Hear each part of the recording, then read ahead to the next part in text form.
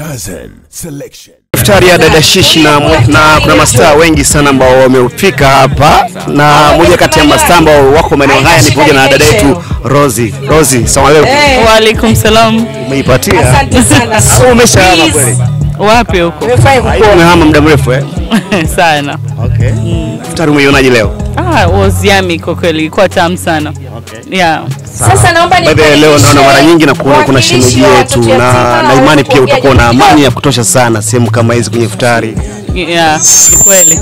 Okay. Leo nimemwona Shamsa hapa. Ndio. Okay. Hivi ulivyokutana naye mara kwanza hapa ilikuwaje? Kawaida tu. Kawaida. Kawaida vipi? Kawaida, habari, salama, salamu alaikum, waalaikum salam basi. Ama kilichoendelea? Hapana, kama unavyoona tumekaa meza moja na tumefuturu pamoja mm. That's it. Okay, sawa. Tumeona unaanza kuwa prove wrong sana masnichi. Tumeona freestyle ile noma sana. Umeua ujue. Asante sana. Asante sana. na kusikia. Nani kachora ile?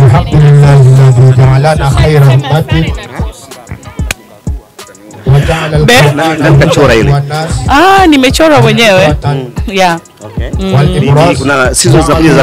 Ni hivi au ni, na, ah, tumetoa freestyle kama zawadi kwa sababu ah, ukiingia kwenye tasnia mpya watu wengi wanakuwa bado hawajafahamu uwezo wako, wanakuwa sometimes hawana uhakika pia wa uwezo wako, lakini kadi unavyozidi kutoa kazi ndipo watu wanapoweza kupata nafasi ya kukusikiliza zaidi lakini vile vile ya kuamini.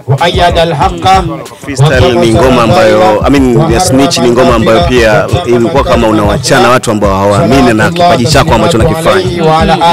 Moja kati ya watu ambao uliwachana ni pamoja na Shamsa, si ah, watu wanaona kama nimemchana Shamsa, lakini ah, kisanaa zaidi ni kwamba watu wanapo unapopata maneno na wewe unatafuta namna ya kujibu yaani kwa tunakuwa kama kuna maongezi conversation.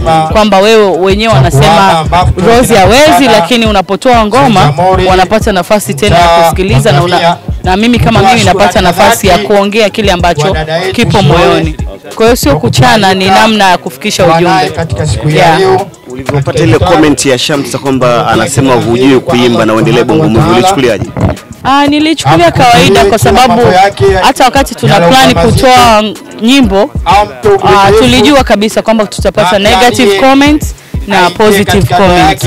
Kwa hiyo tulivyopata ile furaha na amani tulipata kama negative, lakini haikutusumbua kwa sababu tayari tulikuwa tuko tayari kupokea any comment. Haya ni katika Yeah. mambo ambayo Mwenyezi Mungu Subhanahu wa Ta'ala ameyaweka kwa waja wetu kwamba Yeah, yeah. sahau watoto yatima kwa sababu wao pia kama sisi.